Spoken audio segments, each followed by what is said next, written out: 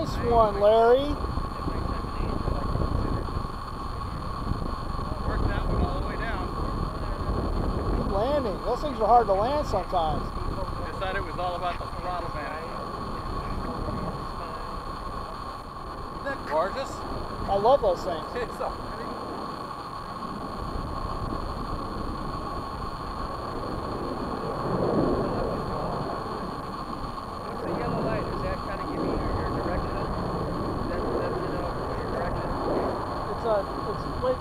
yes, it is.